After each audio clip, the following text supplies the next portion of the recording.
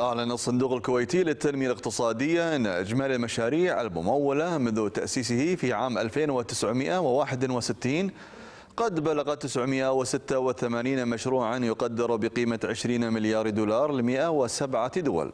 وقال المدير العام عبد الوهاب البدر إن الصندوق واصل جهوده في دعم قضايا التنمية بالدول النامية ومد يد العون للمساعدة وذلك عن طريق تقديم القروض الميسرة والمعونات والمنح للبلدان.